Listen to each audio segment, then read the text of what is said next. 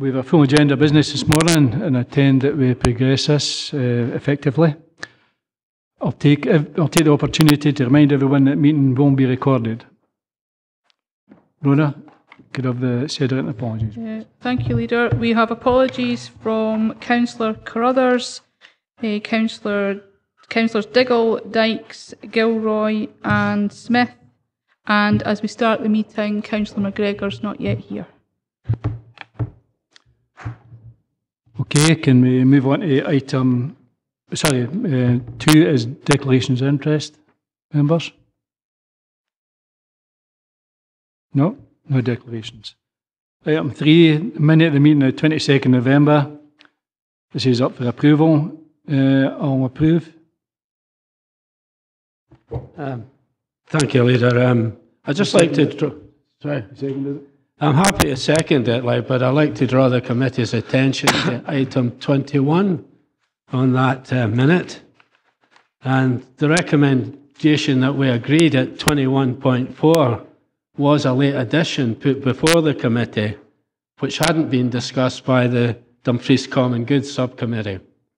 Um, the decision that was taken appeared to be a very simple one, but we've since discovered that what is actually envisaged may be different from what we understood when we took that decision. And I'm therefore asking this committee to agree that the implementation of the decision is halted to allow the Dumfries Common Good Subcommittee time to consider the position and, if necessary, to come back to this committee in March.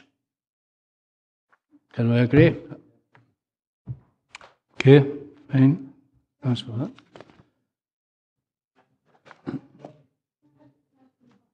Sorry? Could, could I possibly please just have some advice on that? I mean, would we normally do that for any other committee that suddenly said it didn't want to? Can't hear you. Uh, would we do that for, for any other committee? I'd just like some advice as to. I mean, I see the principle I have no difficulty with, but let's talk it through as how this is actually happening. Would we normally do this in this manner? There have been uh, other instances where we have just suspended the implementation to be clear on, on, on facts. Uh, that, that we're not reversing any decisions here, we're, we're just suspending the implementation.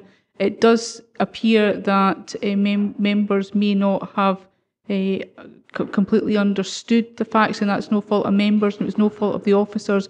It was the information that was provided to us at that time, so we want to be absolutely clear that members fully understand uh, the implications. And we do have a procedural error now because that should have been uh, with Dumfries Common Good Subcommittee to, to get their views on it before it came to PNR. So we're just trying to correct that procedural error as well. Okay, uh, moving on to item four. Sorry. Thank you. Um, but, I mean, at the moment, though, this is just a minute. So this is, The minute is correct. the minute's correct, and uh, Councillor Thompson, the other one, has uh, basically said this needs to be looked at, and you've just explained it. But that's not really, I think I'm sort of sympathising with what Councillor Maitland's saying a wee bit. There is a sort of, it's informative what Councillor Ted Thompson said, but really, have we just made a decision? Or what? We- We've made a decision to suspend the decision until we get the further information and until we, until we fix the procedural element as well. Uh, Leader, is it not to suspend the implementation of the Yeah, suspend the Uh, implementation, yeah. aye. Right, until, until we get further information coming back through this, uh, the common good sub back to here. Yes. Yeah, That- the minute's that's correct. The minute's been correct. Yeah. Okay? God's sake. Um, item four, no, moving on now, Jane, I think we've had enough. Okay, Up later then, thank you, Chairman. item four, which is local government finance settlement, report by Head of Finance and Procurement. This report gives members an overview of the finance settlement for local government for 2017-18, announced by the Scottish Government on the 15th of December 2016. Members will recall that at full council on the 15th of December, we were informed that the settlement would likely mean a further reduction in the resources available to our council, and that further checking was required before the scale of this could be confirmed. We were also provided with information on the likely impact of a range of reductions. Since then, the Scottish Government have published their draft budget, and in fact, it will be debated today in the Scottish Parliament. The proposal will mean a £327 million reduction in Council's core grants. The Scottish Government have argued that an extra £107 million has been provided for social care within the health budget, but this is ring fenced for the living wage and new requirements. They have also argued that an extra £120 million has been provided to schools through the Attainment Fund. However, this funding will go direct to schools, so, can, so neither can be used to offset the £327 million cut in direct council grants. So it's still £327 million. The consequence is set out in paragraph 3.6 of the report, with the confirmation that the settlement as it currently stands will see our funding reduced by 4.4%, bringing a funding gap in the next financial year to almost £20 million, before we take any decisions on council tax. The settlement, as in previous years, also comes with conditions. These are highlighted in the report at paragraphs 3.8 to 3.10. The following report and agenda provides more detail for our consideration on the impact of next year's budget. In his letter to COSLA President David O'Neill on the 15th of December, the Cabinet Secretary Derek Mackay demanded that any council not willing to accept the settlement should write to him by 13th of January, although this was later extended to the 20th of January, and that leaders should write. I wrote to Mr Mackay and made clear our council was not in a position to accept or reject any settlement as our budget has not yet been agreed. I also politely pointed out to him that neither has his budget, and in fact, unless he changes budget, it won't be. The changes may or may not impact on any settlement to our council, and therefore, until he has a budget, and we have a budget, this council is not in a position to accept or reject any of his proposals. And that's what is in the letter. Paul and Julian are here to answer any questions. Members? Jane?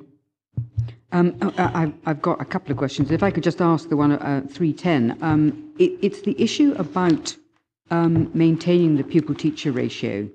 Um, I mean, we've been told and, and read in the papers and, and seen briefings to say that um, indeed not all individual councils have actually maintained that.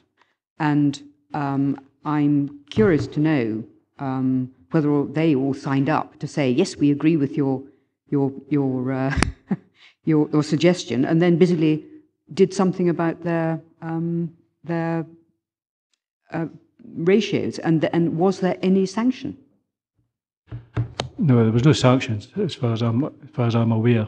Uh, it's it's it's quite a confusing issue because I was at a meeting of COSLA um, and there was an outline of the the the budget that came through. I can't say an awful lot because it was taken in private, but within that, I did hear that there was no sanctions uh, going to be on the um, you know on this proposed draft budget. So there's no sanctions. That's what I heard.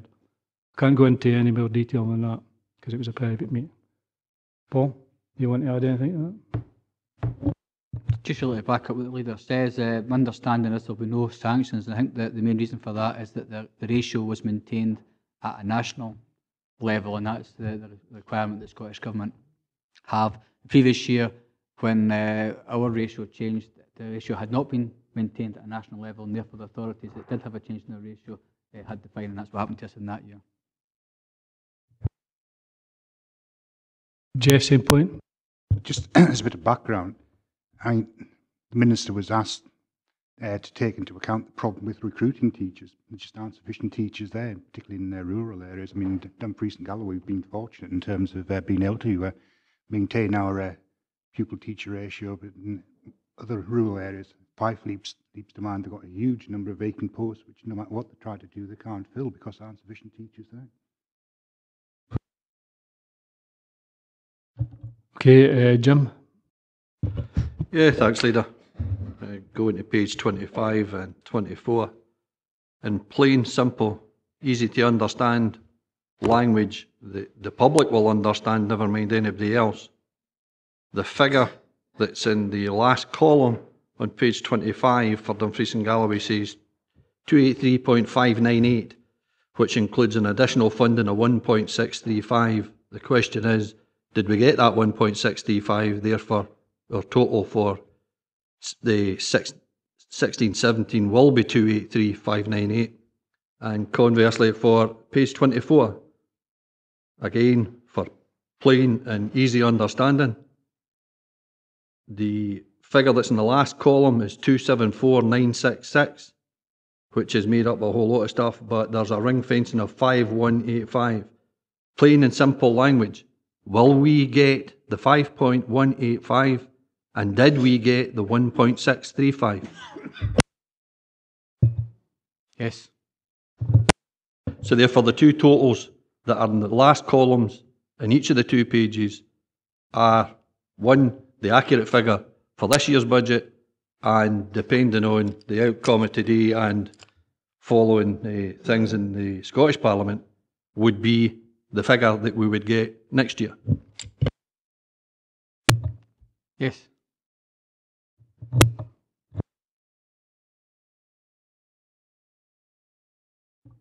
Thanks, Leader. Uh, back to page 13, 3.5, 3.5, the needs-based formula. Now, I notice it is based on population, pupil numbers, etc. Does the formula take adequate cognizance of the, er- the elderly demographic in the Dumfries and Galloway? The fact that we have a very large elderly population. Yes, that is taken into account in the formula, and that's one of the indicators that are used in terms of the distribution. I think the only thing I would say in relation to that is that the GE, which is used to determine the distribution, doesn't fully match the level of spending required. So the distribution formula takes into account relative shares of the elderly population and other uh, groups. However, that doesn't result in necessarily pound for pound movements in cash to address that. Are, are you suggesting, Paul, that it doesn't take adequate account? The distribution formula does take appropriate account of the change. Obviously, in terms of whether we have enough funding to address the needs, that's a separate issue.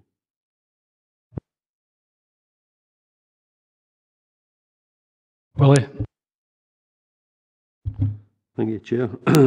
Uh, It's really just to hope, or- or to put forward that I hope the committee will support or- or endorse the action you have taken in terms of the letter that you have written to the Finance Minister in terms that neither have you you accepted or rejected anything as yet, given that there is a debate today and a vote today in, the, uh, at Holyrood.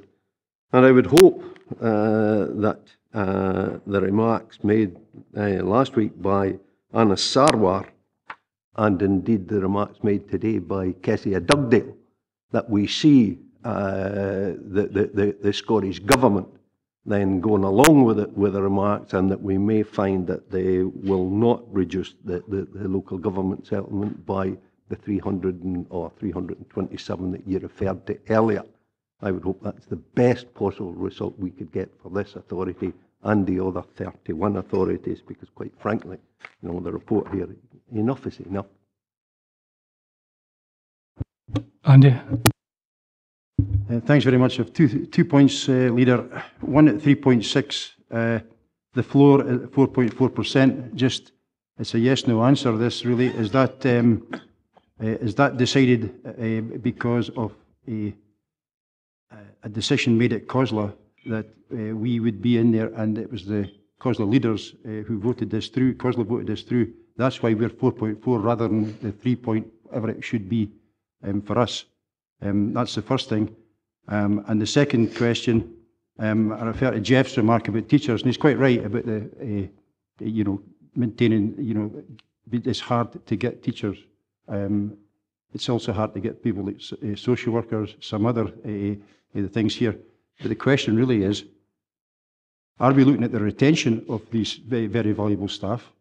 Right? And what effect does the, the number of staff who are leaving here right, have on the recruitment? Because we haven't really looked at that in any great detail, at least as a committee, I can't recollect that. That work maybe have been going on behind the scenes, but we've had no report back on that.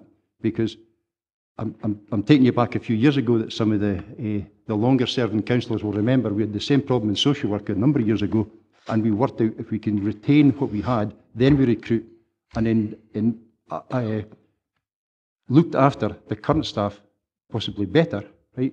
Then the recruitment also improved at the same time. So I, I think it, it, it's a worthwhile exercise and it's a, it's a worthwhile thing that, that Jeff brought forward, and we, we need to note that, yes, but it's the reasons why it's difficult for us. And to always blame it on rurality right, isn't the only reason we can't get staff. And we need to address that, and we need to address it as a matter of urgency. In terms of the, the operation of the floor, that's something that is agreed jointly between COSLA and the Scottish Government. It uh, continues to be supported by the Settlement and Distribution Group and by, by COSLA leaders, but the level of the floor is determined by the Scottish Government itself. Uh, in terms of the teacher, I, I think probably the question was probably directed elsewhere, although I'm aware that we do have a grow your own policy in the police and guard that's operating to address some of those issues, but I suspect that may be added to by others. Thank you. Colin? Thank you, Chair. I just wondered if somebody could refresh my failing memory. I remember, or I don't remember very well actually, at education a year or so or more ago that the something about our pupil teacher ratios were better than the national average, but we were being forced to take on more teachers. There was some kind of anomaly. I just wonder if anyone remembers it and if somebody could maybe refresh what that was about. Thank you.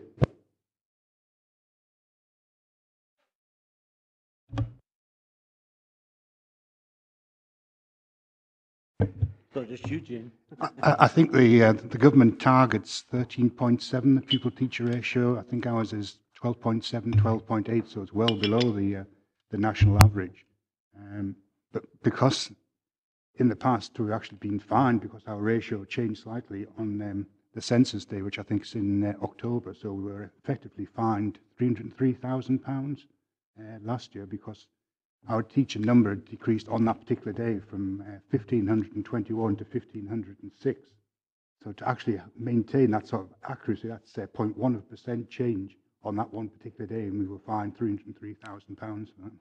So it, it, it, it's, it's a policy which doesn't have any uh, rationale behind it at all. It's just a, a, a number which has been fixed on by the Scottish Government for whatever reason.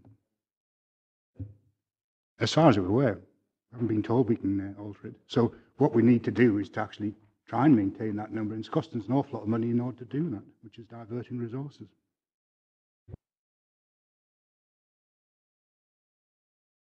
Okay, uh, Paul, just on the, just for my clarity here, the, the, the couple of questions asked, one by Andy, one by Jim. Um, uh, the, the 5 million, that, that doesn't include any pressures or additionality. Can you just check what 5 million you're referring to? The, the, the difference in figures, sorry. The, the 5 million I think that Councillor McClung was referring to is additional specific grant funding that's being received in relation to the, the Schools Attainment Fund and the Criminal Justice allocation.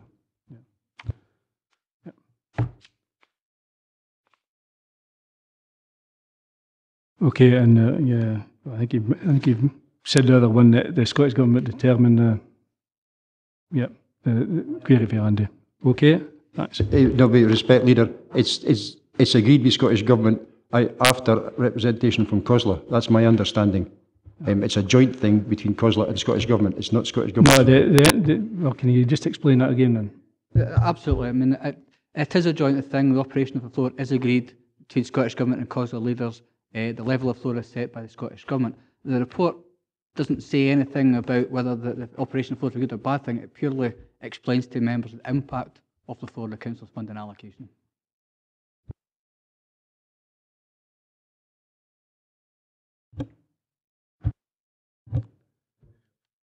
Hello? Yep.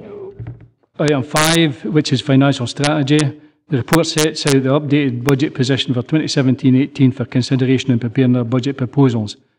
As members will know, around £10 million of cuts for 2017-18 were identified as part of the 2016-17 budget, although all of these have still fully agreed for this year's budget.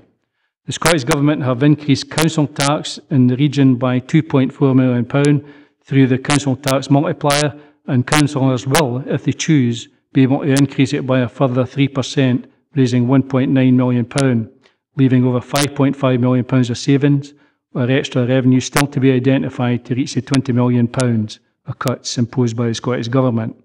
This is on top of the £70 million of savings over the past three years and means that this council is faced with very difficult choices in the weeks ahead. We've also reminded in the report of the budget timetable and process. Paul and Julian are here to answer any questions arising from the report. I'll open the meeting to members. Jane? Um, okay, uh, Leader, um, I, I am a substitute member of the IJB, so I declare that. Uh, I don't think it's any requirement to leave the, the, uh, the um, uh, room, but I would like to know if there is any update on the issue of the 2.4 million. Are we in negotiations? What is happening um, with that 2.4 million? It's a really critical figure. I suppose that, you know, that to me, that's uh, an issue for each individual group to, to decide what they want out of the IJB and the actual consequences of doing that. Uh, I mean, you know, if they want to find out, for, for example, how to take the 2.4, what would be the probable impact, but in the end up, it's IJB that actually make the decision. And we can't influence influence that. The IJB will make a decision on how their budget is uh, you know, and what steps they've got to take for their savings. There's additional complications with CREST savings uh, within that, and what we don't want to be doing is, you know, um, you, know, making savings for the, the, the other parts that we don't have to. But that's up to individual groups to sort out their own budget. I think it's not actually a one for, for us to determine. May I come back? Um, yes, but as everybody knows, what happens with respect to the IJB um, will have an effect on services which this, this council finds very important. Very important. And uh, what I'm really after um, is whether we are in negotiations um, with uh, trying to align what ha- what's happening. I really want to know whether we are working in partnership with the IJB to attempt to make this process as easy as possible. I mean, what we don't want to go into is having each individual group coming up with proposals which are particularly difficult or particularly easy and don't need to be particularly difficult or particularly easy. It would be much, much more helpful if we were quite clearly working in partnership with our colleagues right across the community planning partnership. I think that, you know, just as I said, Jane, and you will know this, uh, being a member of the, you know, the IJB, that I could say, you know, I could say to the IJB, I could say that, right, I'm not going to take something, um, there's £200,000, as long as you don't do that, right? In reality, they could say, that's great, I'll have that £200,000, but in reality, I'm going to take it because it's my decision. It's IJB's decision. There will be talks, and I'm not saying you know that we are we are a partnership as such. We won't be trying to get the best uh, services, and ultimately, uh, you know, that's services to the public, and it will be each individual group's decision about you know what they want to put forward as a saving through the IJB, if any, of the 2.4 million pounds. So it will be their decision and their uh, judgment, if you want, how they carry that out. Members, Andy. Thanks very much. Um, uh, other than Ted and I are the only two IJB members here today. Uh, just to be clear, the 2.4 million or whatever it is, is a, if it doesn't go through today, Scottish Government will have a, a knock-on effect on us as well here, because the 2.4 million that Paul is referring to here is already is in the proposed settlement to the, in, uh, through the NHS to the IJB. Therefore, we're allowed to recover that amount of money, up to that amount of money, from uh, our contribution to the IJB. That's my uh, understanding of it. And uh, And we had a very, very useful seminar um, on last Thursday afternoon as an IJB and board members there, and that was explained in very, very clearly by Katie Lewis, uh, who I know Paul has been working very closely with um, to get this across. So we need to be sure here. And the other thing, just to, I have to say it, when the five of us are at the IJB, we are not there as Labour, SNP, Conservative, or whatever. We are there as representatives of this council. So it is not a party issue and parties think it should be. Different in the budget setting process if they don't want to utilise the whole 2.4 million um, leverage that we have. Um, but I would suggest that would be political suicide for anybody not to use that leverage when the Scottish Government are proposing to put that amount of money through a different route to fund exactly what this council um, its contribution is, and we can save that amount of money. So it, I think that clarity uh, needs to be there, and I'm going to suggest to you when we actually, uh, no disrespect to Paul, but we need somebody sometimes here when these finance things about the IJB are, are, are in, who is steeped in the IJB work, because uh, Paul's got a lot more on his plate than just the IJB. Um, so who could make that very, very clear. And I, I think it also would do another thing. It would also show a reporting back process for the finances of the IJB back to this council, either through this committee or to full council leader. A couple of things. We have no authority over the IJB. You're not there as a, a council member. You're there as an IJB member. So, no, no, you didn't say that. No, but anyway, the, you're not. You said you're representative for the council. You're not. You're there as an IJB board member. You will make decisions, and I think I made that plain You can make a decisions completely contrary to what's in here, what's, what's said in here. And as a member of the IJB, you're in, it's, um, you, you can do that. And again, the 2.4 million pound, that's up to any individual group within the council to decide how much of all of it they want, they want to take. And it's up to the IJB to decide, you know, how that affects the IJB services within the IJB. It's not up to us to decide that. Um, Graham? Yeah, thank you, Leader. Um, under 5.5, it says detailed work is currently being progressed with NHS colleagues on this. And given the significance of this issue in terms of overall budget setting, it is planned that a verbal update will be provided at this meeting and then subsequently backed up through provision of associated details to all groups. Now, I was, I was expecting that verbal update to come from Paul, being our finance officer, and uh, he's been suspiciously quiet on this particular issue. He's not. Uh, to be fair, I haven't let him in yet. Paul? Thanks, Leader. Yes, uh, when we finalised this report, I hadn't anticipated getting the written advice out to all members in advance of today. That's why I referred to a verbal update. But I think it was Wednesday night that I wrote to all members uh, to give further advice on the approach to considering the level of budget to be delegated to the IJB for next year. Just want to make sure all members have got that. Another thing I would add that, that although it is my advice, that has been prepared in consultation with colleagues in, in both NHS and the IJB. I'm happy to provide members and groups with any further assistance as they require in relation to that. Okay, can we, go oh, Jim? Yeah, thanks, Leader. Just a couple of questions. Uh, 5.6 in the report, it says less previously agreed savings of 9.193 million.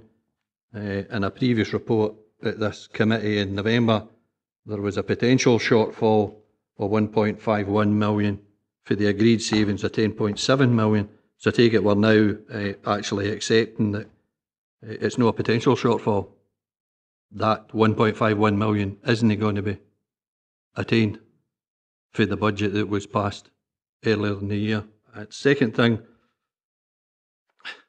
pure, simple terms that the public would understand. In the last uh, item, I asked about the two columns in pages 24 and 25, and I got the answer yes to that. I see Paul smiling. In the public's understanding, that means there's a shortfall of 8.632 million for what we get for the Scottish Government. Never mind what the, the, you have to do as an accountant and all the rest of it. Public understanding will be the shortfall is 8.632 because that's what the figures say.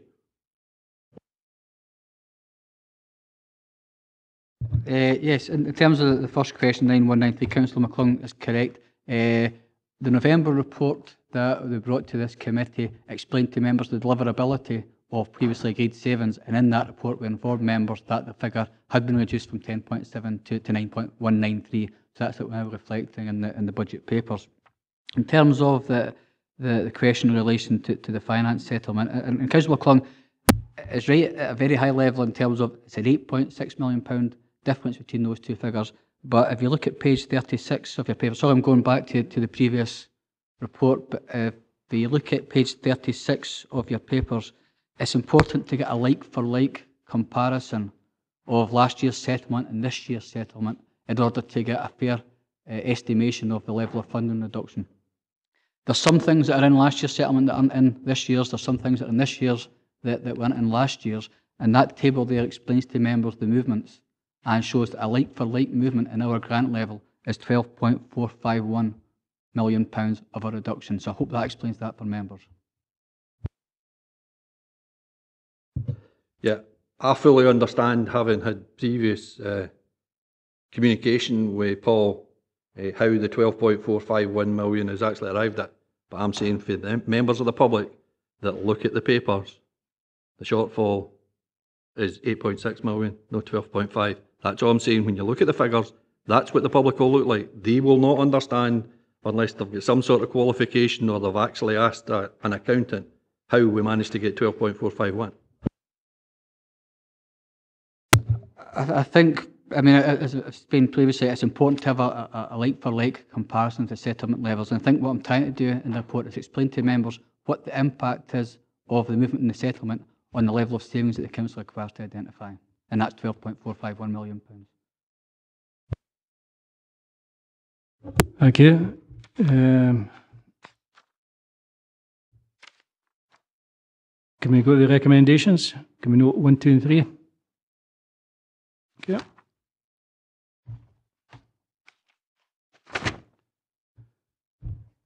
Moving on to item six, further development capital investment strategy. When we set our uh, 10-year capital investment strategy and three-year priority capital programmes as part of the overall financial strategy, similar to our revenue budget, we agreed a process of implementation, monitoring and update would be required.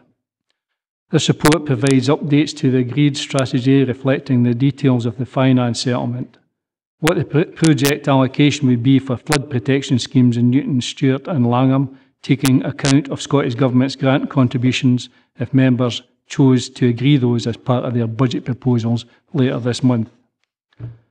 The Scottish Government draft budget includes no increase in capital for local government this year, which is deeply disappointing given the fact that Scottish Government have received a 10.3% capital increase and additional borrowing powers of £450 million. The repayment to local government of the £150 million removed from the budget in 2016-17 by the Scottish Government as part of the reprofiling, reprofiling has been put back another year. The capital budget may or may not change when the Scottish Government agrees the final budget. This report is simply for information and for noting as we agreed as a council to set the capital budget at the same time as the revenue budget. Paul is here to answer any questions.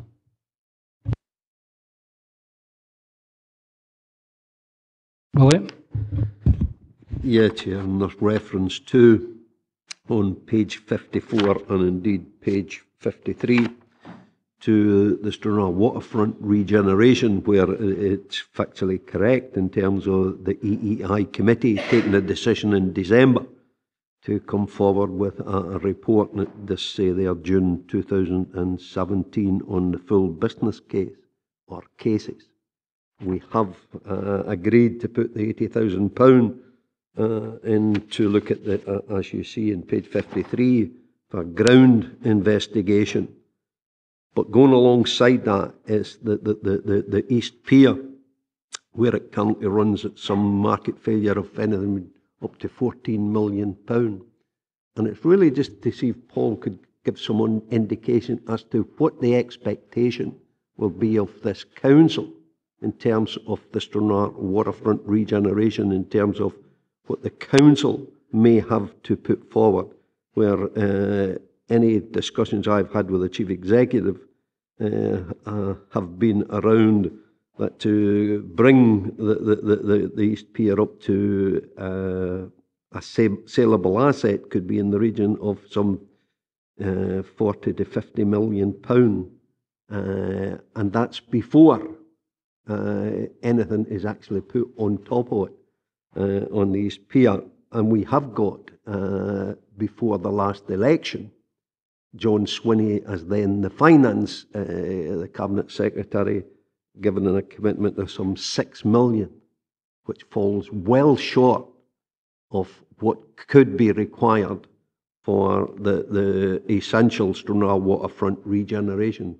Is Paul any indication of figures, uh, notwithstanding that the, the, the full business case is still to have uh, come forward in terms of the, uh, the council's uh, contribution liability? Thanks, Chip. I think that's uh, obviously a, a, really important question, and I think that's part of the detailed work that we're doing at the moment in preparation for that full business case and report to come to the EEI committee in the summer. There is significant uncertainty at the minute in terms of the overall cost of the project and overall funding package in terms of Scottish Government contributions, other funding sources, amounts already in our capital investment strategy attached to economic development, and what other uh, monies the Council may have to put in what I'm doing in, in this report is basically just making sure that members have this as an awareness in terms of any capital investment decisions we're taking at the minute, what that leaves in terms of funding available to be allocated at a future date. So it's important that members are aware of this potential significant commitment coming forward, but unfortunately I can't really give you a kind of a detailed estimate at this stage of the level of council contribution that might be required. But in that, Chair, appreciating uh, the, the uh, explanation given by Paul there in, in terms of just to make us aware. But, you know, the, the period of June 2017 will be the end of the two-year exclusivity period. And it feels uh, to the people of Stranraer as the biggest stakeholder that it's just limping along, nothing's happening, nothing's being done. Uh, there's no real feedback to elected members or indeed the, the, the public to any significance. Uh, and if there is any way uh, uh that uh, as the policy and resources, this could be accelerated in terms of the awareness that Paul has just referred to, so that you know we're not just waiting until 2017, June 2017 but that there is some indication as to responsibility and liability. Is there any way this can be accelerated? Unfortunately, I can't really give you any further information at this stage. Really, what I'm doing in this report is just ensuring that members are aware of this commitment coming forward when considering their investment decisions. In terms of the, the progress of the project itself, I need to speak to colleagues to get further information on that. I think there's a, you know, to say in the report there'll be a full business case and complete funding delivery strategy for it coming forward in June, is it? June. Uh, Jane first. Um, thank you. Forgive me, I'm sort of slightly struggling with this. Um, I, I know that this is provided as a kind of explanatory report, um, but have I got this right then that um, we we, we, we decide the capital budget at the same time as we decide the main budget. Um, but on the other hand, if the whole thing is going to be laid in front of us only in June, um, I, I have to look at things like you know, Learning Town and the White Sands project, these big projects that have the potential to grow. Um, and uh, and um, at what stage? Um, well, yes, somebody's mentioned the Kirkcudbright Art Gallery, and I'm very happy to point out that this council has capped that, and rightly so. Rightly so. It's capped that project and said thus far and no further. But I don't see the same um, approach at the moment being adopted with other projects. And what members don't have is, is, is laid out in front of them here. If we do, if we, if we find ourselves having to add an extra half million um, for the Dumfries White Sands, what therefore cannot come forward. It's that level of decision making that, that isn't absolutely crystal clear, I think, for members to take that decision. Um, and um, so, through you, leader, could I possibly ask when we might, um, I suppose, have that level of detail and clear explanation to members to say, look, do you realise that if you do not say um, on some of these projects uh, thus far and no further, you will find yourselves paying for them much on a much further and longer uh, profile and, and higher um, costs on an annual basis, which means that you cannot do something else. Unless I've misunderstood. Happy to be told that. Yeah, uh, Councillor Maitland's absolutely right that we members agree the capital investment strategy at the same time as they, they set the budget. Uh, in terms of the kind of the other elements, uh, absolutely the Kirkcudbright Art Gallery project is capped, as are the other projects in our capital investment strategy. They have a formally agreed budget by members, and that's the level they need to operate at. We have had occasions where we've had to come back to this uh, committee previously to ask for increases because of issues that have arisen, including the Kirkcudbright Art Gallery project, but the level of budget that is in the, the capital investment strategy at the moment for the agreed projects is the level of budget that should not be exceeded. In terms of the, the issue about White Sands, Stranraer Waterfront, Priest Learning Town, uh, I think what I'm trying to say in this report is that these are future investment requirements that members will need to consider. I think what I'm probably saying, perhaps not that subtly in the report, is we shouldn't be spending too much at this stage. We need to leave some flexibility for members to take future decisions when the details of those projects come forward.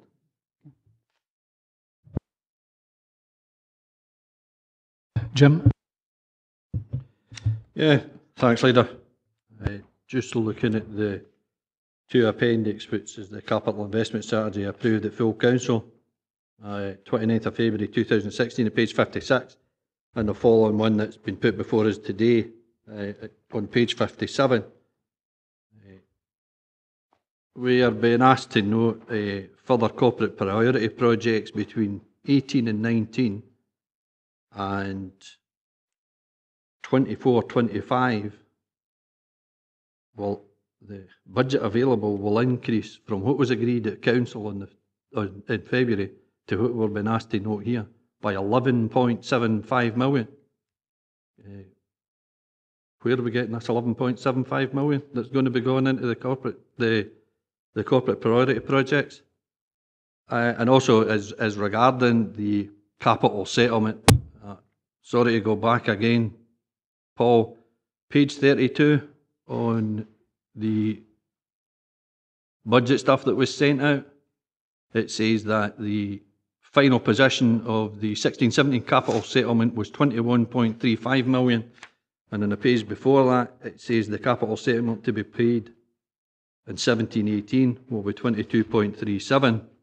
Uh, are both those figures accurate? And if so, does that mean we're getting £1 million more capital this the next financial year than what we were this financial year? Uh, in terms of the, the first question, uh, the reason why we've been able to increase the level of uh, funding available for corporate priority projects is that increase in grant funding that's been received as part of the settlement. That, that increase is, doesn't relate to an increase in the total level of funding being made available to local government. What's actually happened is that funding that was previously in specific grants, uh, mainly for uh, the transfer of management development funding uh, for affordable housing projects, which is previously only allocated to Edinburgh and Glasgow, that's actually come back in. It's no longer being used for that purpose. It's come back in to the general settlement and allocated to, to all councils. And as I've reflected in the report, we get an increase in grant as a result of that, and that's what's reflected in the figures. And that's the reason why we've been able to increase the level of corporate priority project funding in the second appendix that you've referred to. The other point I would make in terms of the corporate priority project funding, what that is, is it's funding that is not allocated to date and will be available for members to allocate when the appropriate time.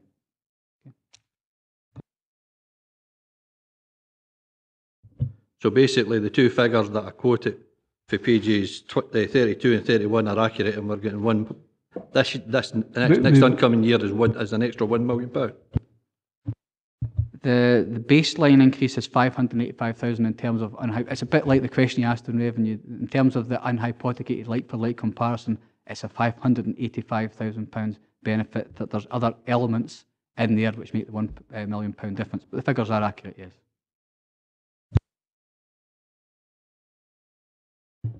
Jim? Thanks, Leader. With reference to paragraph 4.6, page 53, having twice witnessed the main shopping street of Newton Stewart flooded within the last five years, I would just like to highlight the urgency of including these two flood protection schemes within the capital investment strategy. It is urgently needed, certainly in the case of Newton Stewart. Just to say, uh, obviously that's a decision for members uh, that you'll be looking to take at a full council in February in terms of the approach on those schemes. But Appendix 2 does reflect those in the programme for members' information at this stage. Graham?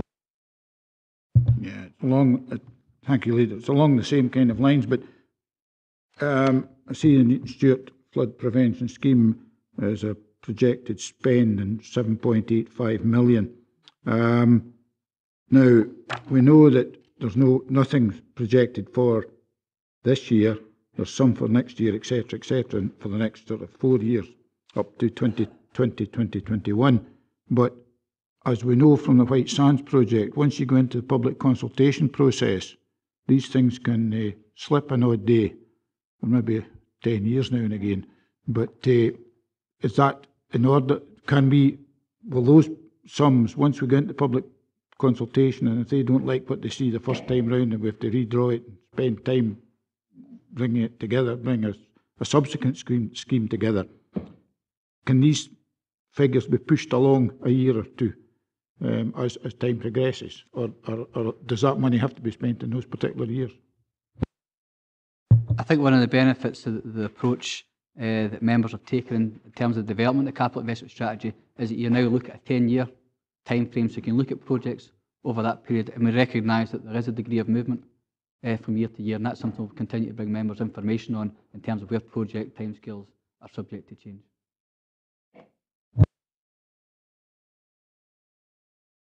Colin?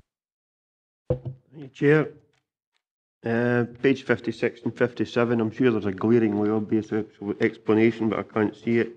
The flood, the White Sand scheme went from 3293 to 23293 on the following page. Just wondering why. And there's nothing allocated in page 56 for 2019-20, but on page 57, there's £14,000 has appeared. Just an ex- explanation, thanks. Yes, uh, apologies members, should actually have pointed that out in terms of a, a difference in presentation.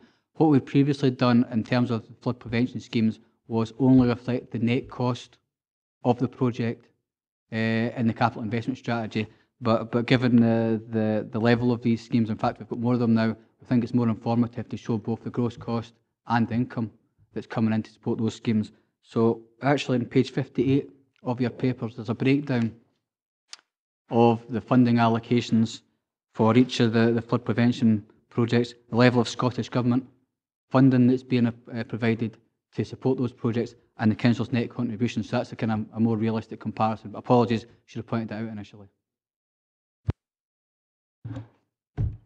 Okay, um, uh, just- we'll be going to the recommendations, but, you know, I think in overall, you know, if we'd got our share of the 10.3% capital that the Scottish Government had, and also if they did keep to their promise and pay back the 150 million pound, we'd have been a lot better off with the capital uh, budget than what we are now, instead of reneging it. And there's no guarantee that it won't renege it next year as well.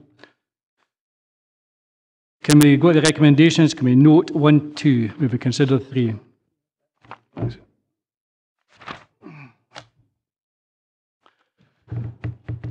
Item seven, this report provides a summary of forecast expenditure for the council up to the end of December 2016 and the measures being taken to manage budgets across services. It also provides a forecast of year-end general fund balances and funding available to support investment and required savings through the, through the Change Fund, highlighting the challenges of future levels of funding to support savings in future years. The report also updates on progress on delivery of the agreed savings, and officers have continued to highlight the challenges and risks associated with the unprecedented level of cuts we have, have to achieve this year and the potential impact and mitigation of these. All measures are being taken to ensure our budget position is balanced for 2016-17, with any costs in relation to delivery in 2016-17 agreed savings likely to be offset by the funds built up in the Change Fund. Paul and Gillian are here to answer any questions. Members?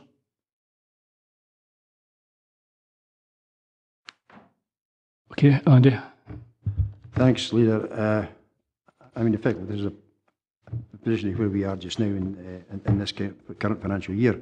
The bit I'm kind of interested in here is at 3.15, 3.15. Um, so I'm just trying to see if my reading of this is correct. This year's anti-poverty strategy has been funded from last year, and we haven't touched this year's funding allocation from the budget. Right? that beggars belief, I have to say, because it was carried forward from last year to this year. Right? My understanding was as it went through the budget, because I think even all the budgets said that, that that should be the case, that this was a priority for this council. So how can we be underspent when significant numbers of people are using food banks? Food banks are struggling um, to, to make ends meet. Um, are a number of things in here. So really, I appreciate it's not for you to answer, Paul, because uh, you didn't manage the, this entirely, this entirely within your remit. But what have we been doing, right, that we underspend on something that is such a high priority in this region? It was, it was one of your flagship policies, Ronnie, you know, and why is it underspent? Because that's what effectively what this is. It's a massive underspend in amongst the most vulnerable people in our region. This is a figure that we've got an anti-poverty policy and we're working towards an anti-poverty policy. It's like that's like you, Andy, saying that you know we've got 10 million pounds to spend today, tomorrow. Why have we not spent that 10 million pounds? There are procedures in place. I think we've got a new anti-poverty officer uh, that's working through to, to actually deal with uh, you know a, a coordinated approach. It's not off the cuff remarks like that, Andy. That's very helpful. Have you got anything to add to that, Paul? The only thing I would say is that um, I think I'm right in saying that members received the report on anti-poverty strategy at the December meeting of full council. I think the anti-poverty officer that Leader referred to had just been appointed at that stage. And one of the issues that's reflected in the report is that a further detail would come forward to members uh, in terms of potential uses of that funding. So I think that that's something that we brought forward in an early course. I think you agreed with that, Andy. Actually, the reason I'm asking the question, Ronnie, is because tomorrow at SIPL, we've got some organisations coming forward in commissions, right, where we expect them, right, to actually have outcomes and outputs for the money that we give them. Right, we've got this money out there. What are actually the outcomes for the people who are in, in poverty? Right, and get, having a new member of staff isn't an outcome for the people on the, on the breadline or the people who are standing in the queue at the food bank. That's the question I'm asking. Is so why have we got an underspend? And why is it taking us a year, right, to actually get somebody into, into post? Now, it's a quite reasonable question, and the public are, have a right to know why it's taking so long and how that, that's not been taken forward. Councillor Ferguson, you'll recall that the, strategy for the anti-poverty strategy was agreed by full council and there's a six-monthly report and as Paul indicated there is a an update was presented um, at last full council um, and there was a, quite a debate to that, and Councillor Scobie indeed had raised some uh, concerns about making sure outcomes were achieved and that we could see those things on the ground. Um, members have made decisions about allocation of some of the monies, and those have been brought to full council for decision. Um, and I understand from the team who are been working on this that the uh, groups of people who are experiencing poverty and who are needing our help are informing a number of those investments and they will continue to do so. Um, and so we would expect um, further clarity in the update report that comes forward for members and indeed further investments to be made by, by members in that, that regard.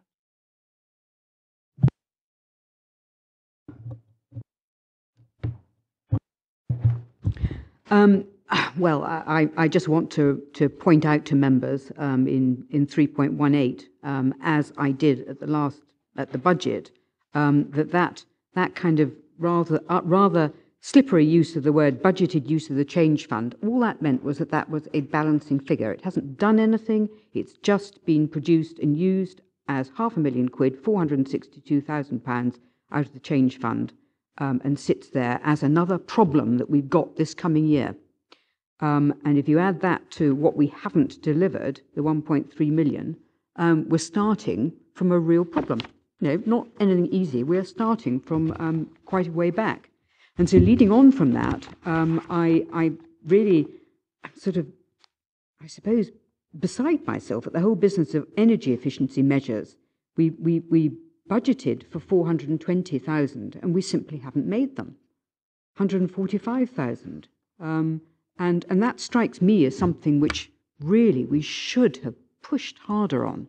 I know that all elected members actually want that to happen, and I don't understand why it hasn't been um, more forthcoming, uh, because it struck me as something that should happen. It's good for the world, it's good for our budgets, it's good for staff, there's no issue there. And, and yet, what is happening, leader, over these particular savings?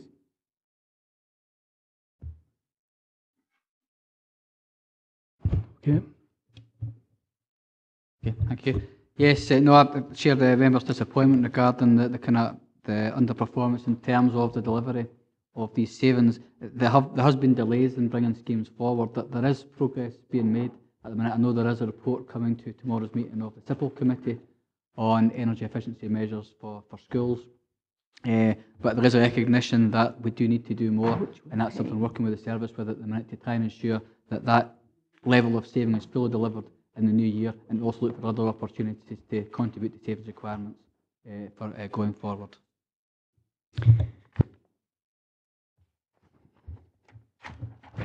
Okay, Willie. Yeah, Chair, and just to the remarks made by Andy and then Lorna in, in terms of uh, my remarks at the last full council when we did discuss the anti-strategy, anti-poverty strategy. And I think that it's uh, not a matter of just having a strategy. We need to put outcomes, uh, performance indicators, so that we can see that we are, uh, you know, having an impact on, on what is the, the, perhaps the most vulnerable in our communities, and, and that is only reflected in the food banks and the number of people and children who are using them. I think Colin Grant was to come forward with those uh, outcomes so that we can see we are making a difference uh, with the people out there. But could I uh, refer to pages 66 and 67 of the report, uh, where I have serious concerns about uh, achieving the savings that are identified in this report. And indeed, I have been following the operational efficiency of the kinship care, and that has never moved. The outstanding work is none, uh, and working process have been amended to include a continued review of placements. I have raised issues with the, the, the head of legal services, with, with, with Rona, in terms of the council's kinship carer, carers policy uh, I have written to uh, the head of Children's Services yesterday, uh, indeed, as to whether we are following the, the, the, the policy uh, uh, uh, and asked for the report to come back because it, I have dealt with a number of cases coming forward where we, it looks like we have not followed the policy and really from the, the head of legal and indeed the, the monitoring officer's position, I would hope we would be looking at that to see if there is any uh, indication of, of perhaps malpractice in, in the application of the policy. So, so in that respect, I think we are going to have difficulty uh, in terms of the pressure on that particular budget that is continually reported as uh, outstanding work, none but I, I will wait on the, the answers to my questions and hopefully well, no, hopefully I, I will seek a report on that to go to the service committee. Likewise, on other two aspects of this report, and one is uh, reference to support and learner service review, and the other part to that in page 67, where it refers to the reduction in mitigation funding for ASL and other educational savings. And only within the last week or so, I met with a number of parents who, who, whose uh, children uh, have learning difficulties. And what was admitted at the particular meeting by a senior official of the council within education with responsibility for the delivery of ASL services is that we haven't got it right in terms of the assessed needs uh, and to identify how many hours that individual may need in the absence of, of the, a proper assessed needs and not identifying, then it is difficult to see whether uh, the service is being delivered, and it may be that it's driven by a need uh, on the part of the council to find savings when it's unrealistic in terms of the impact that is having on, again, vulnerable children in our community. And I think these are two areas that I would hope that Paul will look at and give some scrutiny to in terms of the service delivery to vulnerable uh, parts of the community, perhaps the most vulnerable in our community. I would hope that Paul would do that as an action plan from this meeting.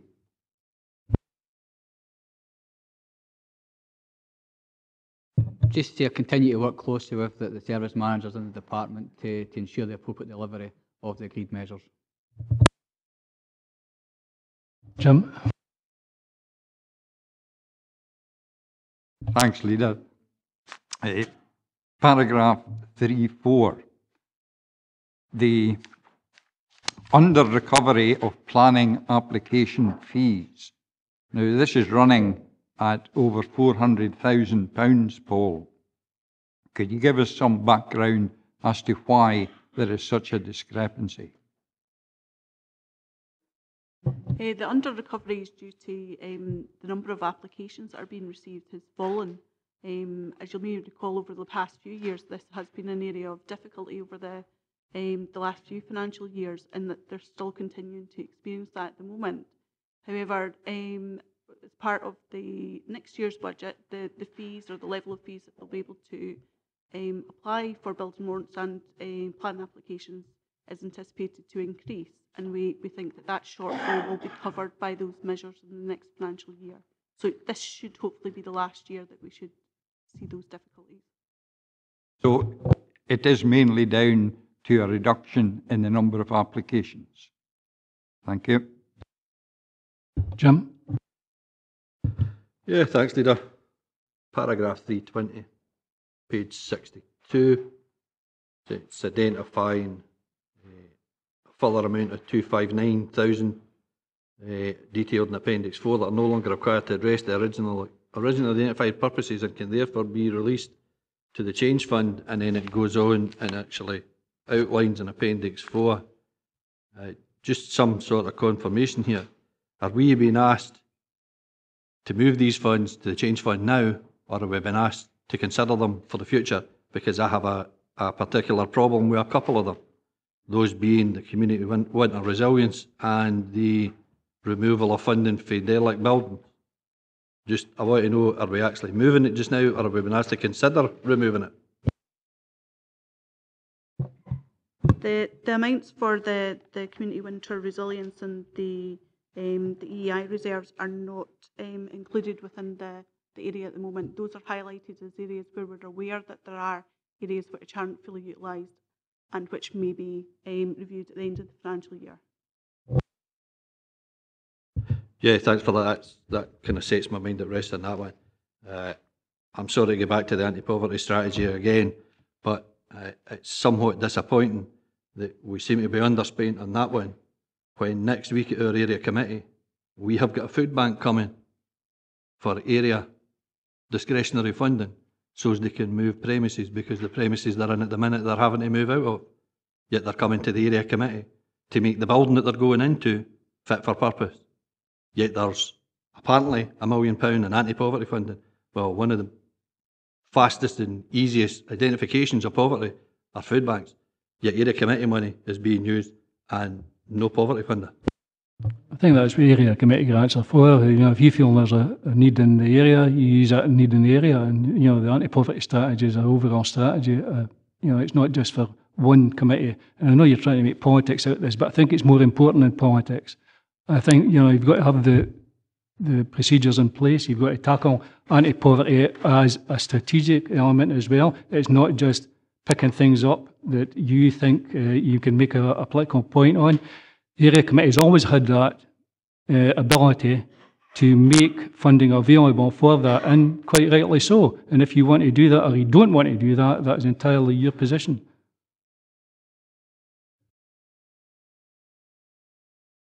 We can go to the recommendations. Can we note one, two, and three? Okay.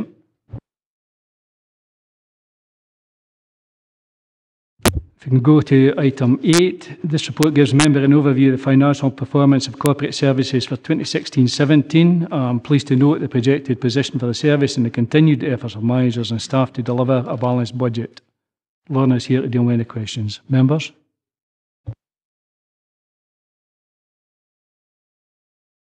Can we go to the recommendations? Can we note one, two, and three? And Sorry.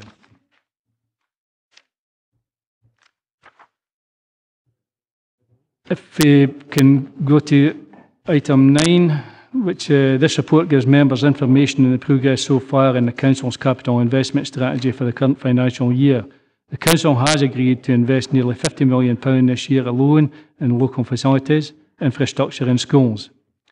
Even in these times of constraint and difficult decisions on budgets through tight control and focus on our priorities, we are ensuring local people are seeing these key investments happening and reaping the benefits they bring to local communities. This continues to be an important part of our contribution to support our local economy and delivering projects which are integral to our council priorities, supporting local trades and businesses and hundreds of jobs locally. As at the end of September, the council has spent over £30 million of this year's programme, and we forecast this being fully utilised within the financial year. This shows considerable progress in the last few years in the efficient way we invest in, a, in full our capital in crucial projects for the local community and our economy. I am sure I speak on behalf of all members in recording our appreciation for the effective way staff and our partners are delivering projects such as our new schools. Paul is here to answer any questions arising from the report. Members? Jim? Yeah, thanks, Leader. Sorry to take this down to ward level, but on page 93, public toilet provision, the own programme, it lists a whole lot of toilets that have been done. Uh, there's a project in my ward that is kind of stalled at the minute in uh, Cairnryan, and I'm just wanting the assurance that that will still be funded when the decision is taken uh, through the public consultation, that the funding will be there for the work to be carried out. Please. Thanks, Leader. Uh, there had previously been an allocation for that specific project. Um, since nothing had progressed, money's been reprioritised elsewhere within the programme. But that's not to say that once a decision uh, has been made on what's required, that that couldn't come back into the, the programme. Clearly, that would have to come uh, within the spending proposals for uh, future years to this committee.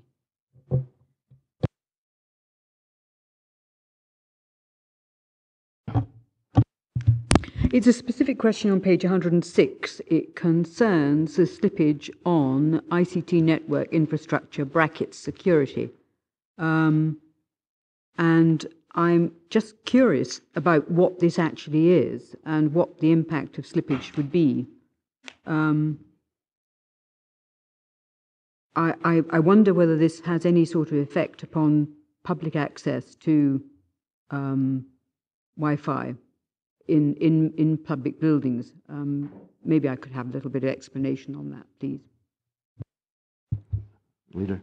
Um, there, there is slippage on the, the security side of things. That's predominantly down to our firewall infrastructure. Um, it has taken us longer than anticipated to understand what the configurations of those firewalls need to be, um, particularly around the new prevent agenda, which is being raised through education. Um, so there is a delay in procuring those, um, and, and the intention is that we procure them early next year. Um, as far as public Wi-Fi goes, um, the, the security um, issue will not prevent that. Um, it is in train, but it, it's probably three or four months away at the moment. Sean? Yeah, on page 93, it's really just to probably commend the council with regards to the libraries uh, and customer service centre integration. As you can remember, this was a, a, budget saving, but in the case of Eastriggs, which myself and, and Councillor Ogilvie went along to, to see the opening of after it was eventually done, um, you know, we were struck by you know the work that's done there, and actually uh, from a budget saving, we've actually got an enhanced and additional service in Eastriggs. Um, in the present, uh, in the past, there was just the library, but we've actually managed to provide a customer service centre there, and at the same time, it is actually, you know, working with the, the local head teacher in the school, is actually provided security or additional security for the school. So it's really just to kind of re- record thanks for, for that project uh, uh, being completed.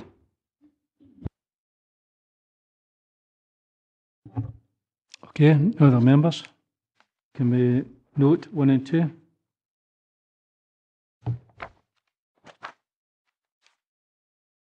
Moving on to item 10, this report asks members to consider a transfer of Langholm Day Centre and the former library into community ownership for a nominal sum. Members of the Annandale and Eskdale Area Committee had recommended to us that we support this community transfer. The Council is committed to being inclusive and protecting our most vulnerable. The Communities Director at paragraph 315 also advised that the relevant application has been submitted and assessed by officers and concluded that this is viable and sustainable and that by transfer and ownership there will be a positive contribution to the well-being of the local community. Louise is here to answer any questions. Okay. Go ahead.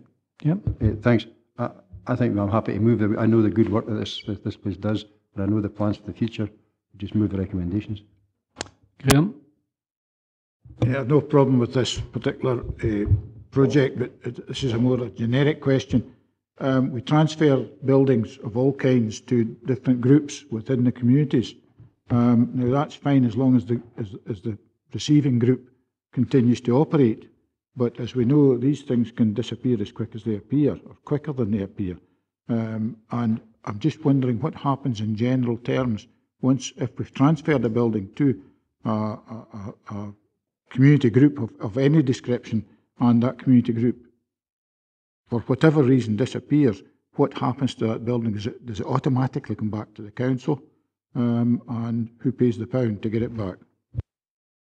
I think the answer is yes. I don't know about the pound, but please. Um, we tried to write in terms and conditions into the disposal to make that happen, but occasionally we can run into issues depending on the specific constitution of the group. So if it was a charitable uh, endeavour, for instance, uh, they might have a constitution which requires them to put anything asset-wise back to another charity. Uh, and the other issue that we occasionally run into as well when finalising disposal terms is on any um, grant funding that that group may be getting. So there can sometimes be restrictions where grant uh, funders won't give them uh, a grant unless they can demonstrate absolute clear title with uh, limited restrictions. But we try as much as we can to put in something in that regard for uh, something to revert back to the council if, if the group doesn't succeed in what it's trying to do. Just quickly, my reason for asking a question is that we've got a community council, there's a community council in my ward which has been uh, negotiating or, or discussing anyway transfer of an asset, and within three days last week, the community council disappeared. You know, there's four or five re- key resignations, like chair, the vice chair, the treasurer, they all disappeared. And, and that's why I'm asking the question, the leader. That's fine. Jane? Um, in the past, um, we've put, you know, what we're doing is foregoing 75,000 or something. I, I don't know. That's, that's a sort of general figure which is apparently um, in the air about what we are foregoing. Um, and in the past, we have um, uh, said to a community, yep, you must get it done by a certain time. And we've also actually, interestingly, asked the community to provide us with a business case. Um, uh, uh, so I'm, I'm curious as to why there are sort of differing procedures. Uh, would we have expected to have received some level of business case to show that um, this, this can be dealt with? Um, or is that not normal? And just a question. Um, and as I say, um, knowing what's happened in the past, we've, we've have put time limits on in the past. Is that reasonable in this case?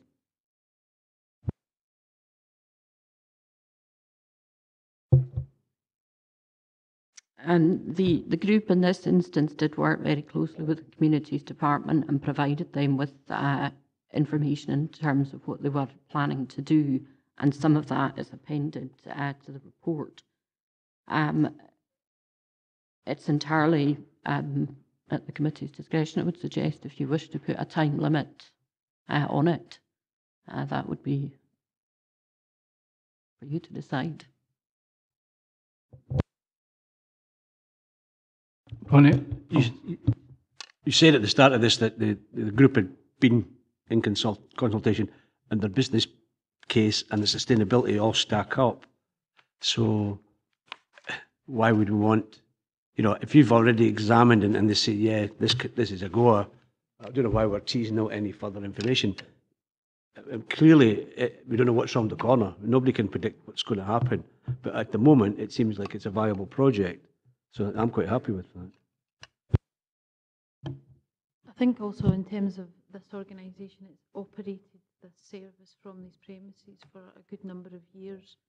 Um, I think where community organisations are being established to take over um, an asset and, and to, to, to prepare a business plan in that place, this is a functioning organisation which has um, sustained itself over that period of time. So there has been the, the regular due diligence, but it obviously has proved itself in terms of being able to sustain that over a time. So um, while it may appear lighter touch, that there has been that kind of engagement through both the health and social care and the communities department around this um, to make sure those things are aligned and they're appropriate. Okay, Gail?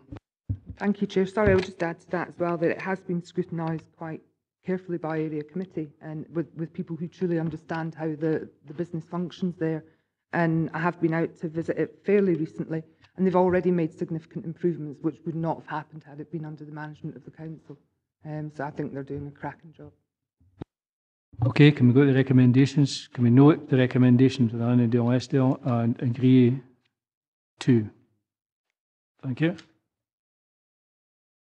Item 11, the um, this is Lisa football pitch at White Hills, Lochmaben. The council is committed to empower communities to make the most of their assets and the talent of the people who live and work in our region. This report asks members to grant a lease for a further 25 years to Lochmaben Amateur Football Club, which will assist the club in accessing funding to develop their facilities. Members of the Annandale and Eskdale Area Committee had recommended to us that we support this request. Louise Matheson's here to answer any questions arising from the report. Ronnie, first. Yeah, Gail. I should have said it at the previous one. As, as Gail has mentioned, we, we really went through this with the area committee and, and all the support and information and the local knowledge that Stephen brought. Uh, so I've no compunction at all in, in supporting this one because I think if you see the facilities they've got just now, uh, they're not ideal for a football team, and this would help them take it forward. Gail? Stephen? Yeah, um, no, I mean, we did, we did look at it uh, closely at area committee, but I, I think for the benefit of the rest of this committee, it might be um, helpful to provide a little bit more information on the existing lease for which we're providing an extension. Um, obviously, if it's uh, uh, if it's new and, and this committee can see the sort of full details of that, that's one thing. But at the moment, this is an extension. So, for the benefit of the rest of the members of the P and R committee, it might be helpful to know what the nature of their current lease is so we know what we're actually extending.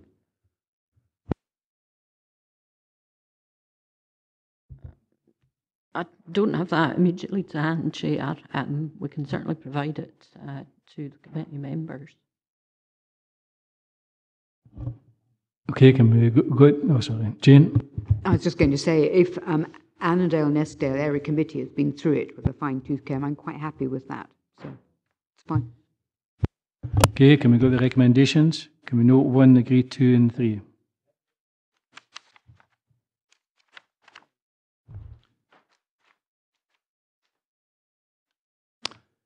Item 12, Lisa Pavilion, Beech Grove Tennis Courts, Moffat.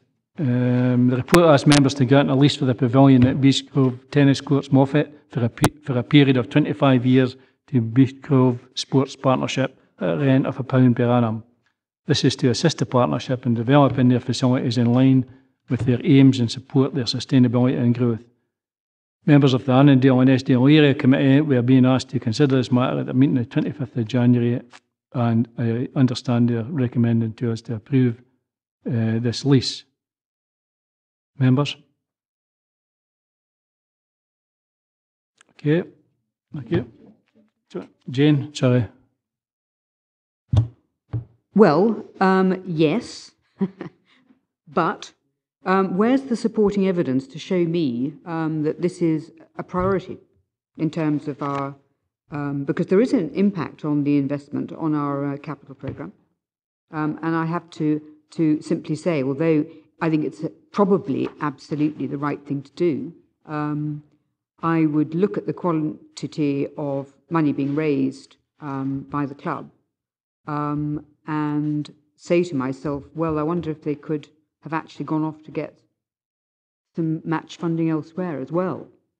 Um, m- my concern is that although it might be the best idea in the world and it's a good thing to get um, to get uh, you know, big investments and, and substantial investments that actually have an impact. I understand all that, done it, done it ourselves um, in the stewardship. Um, this does have an impact upon everybody else's priorities, and that's not clear here. I think, you know, the, on the monetary side of it, and I think it's, could we discuss that in the next report? This is, this is, this touches on all the uh, issues that you are raising there. So if we can agree, 12. Okay. Moving on to item 13. Um, this report seeks approval of amendments to the land asset class sports pitch capital allocations through to 2018-19, including an allocation to the Beech Grove tennis courts, which would seek to match external funding secured by uh, the club. Richard's here to ask, answer any questions arising from the report. Jane, do you want to come in? Uh, thank you, Leader. Um, I think in answer to Councillor Maitland's question, the, the percentage of funds that have been secured by the community group um, in terms of the overall project are, are significant. Um, they have been to a number of different funding streams, as you can see in the report. Um, and with our support, I think uh, it would be very difficult and challenging to uh, identify any, anywhere else they could possibly go for any additional funding. I think they've done a, a particularly good job in getting to the, to the level that they have. Um, in terms of the, uh, the, the priorities and the realignment uh, as proposed uh, in the report, I've tried to uh, provide some context in terms of the current uh, sports pitch allocation. Uh, we've already moved forward on a number of the projects that were previously agreed, and I think to a large degree, members, that we've, we've had a, a, we're almost a victim of our own success in terms of the significant funding we've drawn down in regard to the 3G sports pitches, which have been such a success that we're having to revisit uh, some of the previously agreed uh, capital budget allocations to try and reflect what has been a significantly diminishing uh, reduction in, in, in usage at some of the smaller sites. So um, we're confident that uh, the realignment of the capital as, as uh, proposed is, uh, is the right thing to do, and, and, and we put that before members for, for your consideration and, and hopefully approval. Jeff? In terms of the uh, the Beech Grove tennis courts in Moffat, the uh, the school at Moffat has two tennis courts and two practice courts which are available for public hire. How closely are the club and uh, the uh, the school working in terms of the uh, the provision? I know one's at one end of the uh, the town, the other's at the other, but um, you know, are they working together on this? Uh, yeah, Councillor Lever, the, the answer to that is yes. The club development programme is closely aligned with the PE provision. Um, they're using both facilities in terms of the grassroots development of the sport and then the, the higher end performance um, coaching is, is done through the uh, uh, through the courts at the, uh, at the at the Beech Grove facility. So yes, the two the two things are very much aligned. PE staff very much on board working with the club. Sean? Yeah, just notice on 3.5, uh, 3.4, uh, it's just with regards to what we appear to have like a, a redundant MUGA now because of the uh, the new facilities at, at Lockerbie.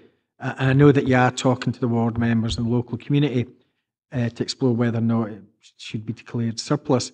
I would say that you know if, if that if it goes to that, it might be a community group that takes it over. But if it goes to declaring it surplus, I know the land would be worth something, but is there any way that you can salvage some of the like fencing, etc., some of the equipment, and that could be reallocated to another facility? I'm, I'm sure uh, happy to work with Louise's team to identify whether there's any um, parts of the current provision that are uh, that remain fit for purpose and can be salvaged for that purpose. Definitely. Jim? Yeah, thanks, Leader. June 16, we allocated 75,000 a year for the next three years for the sports pitches. Park School was going to be getting a rejuvenated uh, MUGA. That's now, if we accept this, now not going to happen unless it's done through the, the schools capital programme. Uh, if the schools capital programme can't afford it, the school's going to be left with a deteriorating uh, facility. And if we agree with this, we're going to have a balance of 26,000 to be spent on sports pitches for the next two years, 17, 18 and 18, 19. Am I reading of the report right? That's correct, Chair. If we can do two years for sports pitches, eh, 17, 18 and 18, 19 with 30,000 eh, sorry, 13,000 pound each, if we can get away with that, why did we allocate 75,000 pound in June 2016 per year?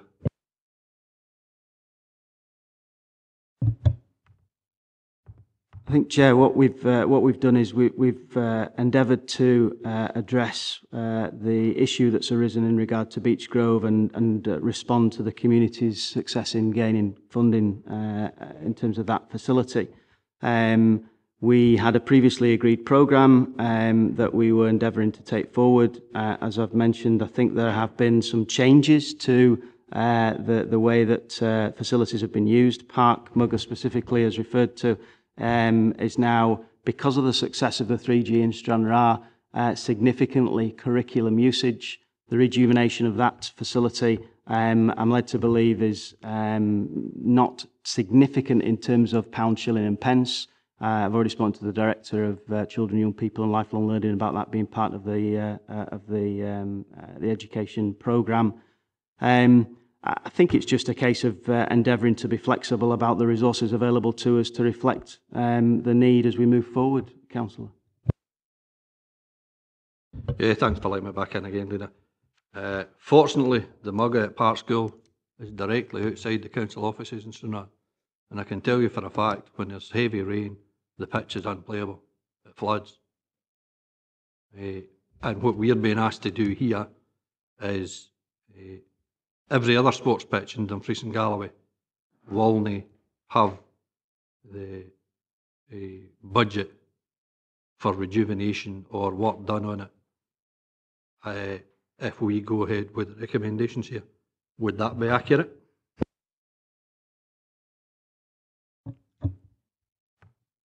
The current sports pitch MUGA um, maintenance, repairs and maintenance regime is in place across the, across the piece. that does require some additional rejuvenation that's formed part of this, this uh, funding profile um, and as detailed, um, particularly in regard to park, um, that we're not suggesting that that doesn't now need to happen. Uh, what we're suggesting is that that will be addressed through the, uh, the school's capital programme. Thank you, Chair. Um, just a few observations. Mate. The Beech Grove tennis courts in Moffat are the responsibility currently of the council, and it would be incumbent upon the council to bring the pitches up to the standard that's required, given it's the largest facility in the region. The, the group there have done an, an incredible job of getting some external funding, and I wonder what's the risk if we don't fund it? Does all that funding fall, or do they still get that funding and get to do a half cop job, and we'll have to pick up the pieces later anyway? Um, what's the risk if we don't give them additional funding? Because as I say, I think they've done a tremendous job of getting the money that they've secured. Um, in answer to the question, uh, Councillor Vergara, the funding will need to be returned um, to the to the uh, um, the, the organisations that have uh, allocated that funding because it's for the purpose of the full rejuve. Uh, there is no halfway house, so that funding that has been identified will will, will need to be re returned and the responsibility in terms of the, uh, the facility uh, will now fall to the council in terms of whether we A, either find the full funding or B, require to potentially um, you know, close the facility in the future. Um, thanks, uh, Ronnie. Um, I'm just wondering, given the last decision we took just immediately prior to this, um, the tennis club are now able to go to the community wind farm benefit company because they now have a secure lease because of your decision.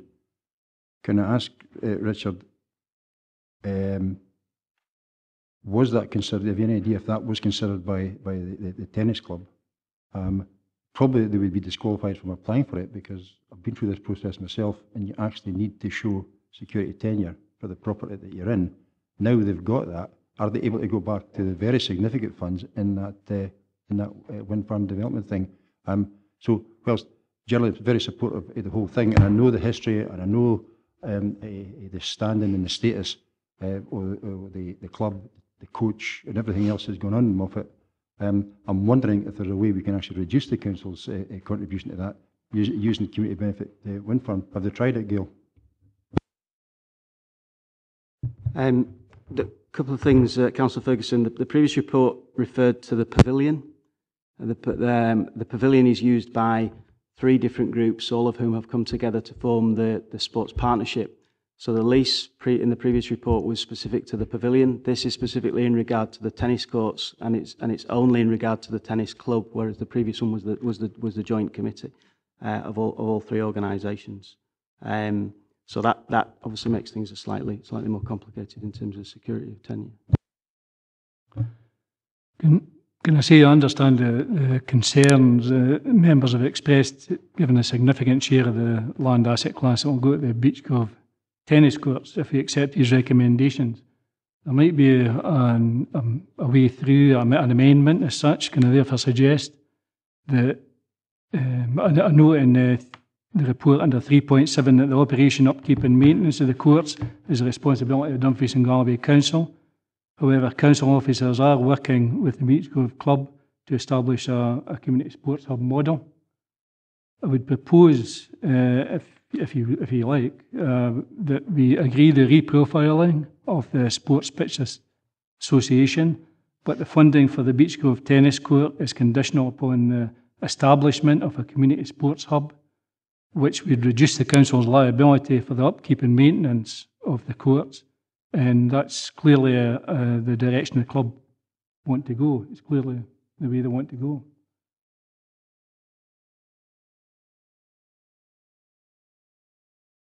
Jane? Um, thank you, Leader. If, if I had a list in front of me with the state of MUGAs and pitches and all the rest of it, and could see what was desperately needing to be done um, or wasn't desperately needing to be done, I'd be far happier um, about reprofiling. But you know, I just don't have that here. I can't tell. I've no idea. Somebody's mentioned Park School. Um, I know that there's a MUGA which floods exactly when there's um, when there's um, wet.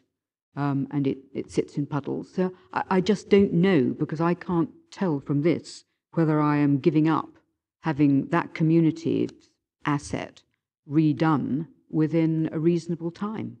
So, so I'm, I'm rather reluctant, I'm afraid, um, leader, to, to agree to this in its current arrangement because I don't think I can tell whether we are being um, fair to the rest of the um, region. So I'm, I'm inclined to say no. I think I want to put this away until I've received that prioritised um, state of other MUGAs. Thank you, Leader. Um, yeah, I mean, I, I, I understand Councillor Maitland's concern. I, I think that uh, what we're asking here is that the, uh, the, the previously agreed funding profile uh, that identified the areas of most need um, it be amended uh, with the mitigation uh, as discussed in terms of the, the uh, either through the, the school programme with Park or uh, the, the need to look at some of these other facilities in the light of developments of 3G pitches and enhanced usage, etc. Um, one of the challenges that we do have is that the, um, that the awards that have been presented and the clubs have been successful in terms of Beech Grove are time bound. We've already extended the, the closing date for certainly the Sports Scotland Award. Um, aligned to that, we have the ongoing repairs and maintenance programme on all of the multi-use games areas, um, and albeit a much reduced um, uh, capital budget, we have we do have some resource to endeavour to to do some of the uh, rejuvenation work uh, that, for the most part, comes in between five and seven thousand in terms of the, the general um, uh, upkeep uh, and rejuve work for some of these MUGAs. I think it's about uh, mitigating the risk, uh, leader, but I do understand Councillor Maitland's concerns. Stephen? Thank you, Leader. Yeah, it's just um, just on your suggested uh, amendment, as it were, just for the sake of clarity, given the, um, it may may be helpful, Richard, if you could maybe update us as to where the, the club are at, given the sort of complexities with the arrangement between the club playing surface, as it were, and what they use, and the relationship with the new sports uh, partnership for the pavilion side of things. Obviously, there'd have to be some kind of uh, working with the different entities to establish some kind of relationship in terms of like the maintenance, obviously, which could be a benefit in, in terms of a saving for the council. So, um, where are we at with that, and how close is the, the actual tennis club to that understanding of, of the responsibility they'll be taking on? Yeah, and I think the relationship and the partnership elements are critical. Um, the, the, the three-way partnership, if you like, in regard to the pavilion, um, obviously the interest of the tennis club are very much in regard to um, supporting that as a as a, a pavilion that, that is fit for purpose and developed that they that all all user groups, the bowl, the bowls club, the football club, and the tennis club can all use. Um, it might be suggested that without then the investment in the courts to go al- alongside with that, then there's the, the, the, the tennis club, um, you know, uh, that might be a challenging situation to, to, to address. What I would say in response to the, uh, to the suggestion is that given the very proactive way the community and the club have gone out to get this to the level of funding they had and the discussions we've had to date with them in regard to that community sports hub model with a management arrangement uh, and responsibilities thereafter, I think that the proposal presented will be positively received by the, by the, by the tennis club.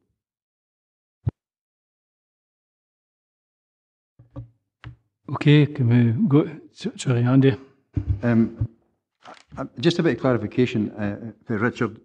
Um, If I'm reading this right, this is the work that's been needing to be done to reflect the club's status and stroke profile in UK, um, Scottish-wide, uh, and local tennis world, right? Because it, I- think I'm, I'm, I'm picking that up right from uh, people I know in Moffat. Um, And it's, I mean, I, I- I mean, is that the case? I mean, this is, this is, if we've got, for example, a club that ho- hosts um, one of the oldest tennis tournaments in the world, brings in significant amount of tourism and everything else, uh, does this work ensure that it's at the required standard for the Lawn Tennis Association and the international world and the whole tennis world to actually hold top-class events there? Yes. How many members is actually in that club? Uh, my apologies, Leader. Uh, 3.6 of the report gives a, a brief summary of the, the membership at 125 and all of the different coaching qualifications and the, uh, the tournaments that are hosted at the venue. Okay, I'll put a suggestion forward. Is can we can we go with that, or, or do you want to put something else? Sorry. Sorry, Chair, it was just with the absolute clarification that that condition um, of the formation of the Sports Hub is not going to jeopardise the external funding or the progress of anything. Because I think it sends out the wrong message that a community group has done a cracking job of raising £150,000 for a facility which we own and should be maintaining. Um, and I, I think it sends out entirely the wrong message to community groups that w- if we don't show incredibly willing to support them. Uh, no, Leader, that wouldn't jeopardise the, the external funding. I think it, it would just enhance the direction of travel and, and would be supported by those funding partners, particularly Sports Scotland. Jim.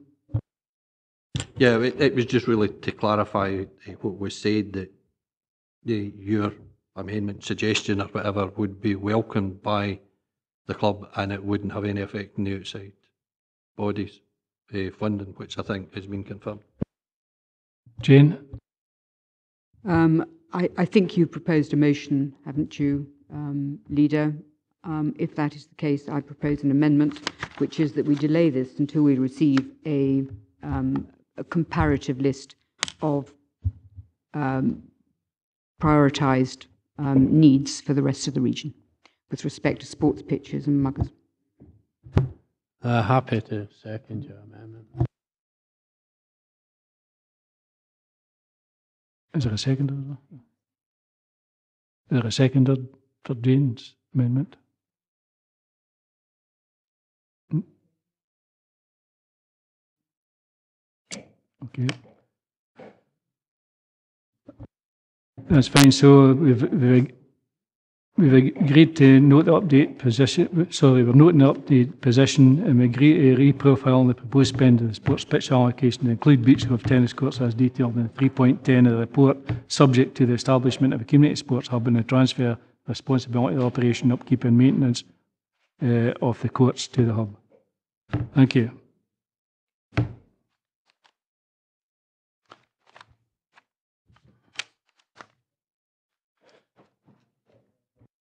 Item 14, uh, of, of no other business, no urgent business.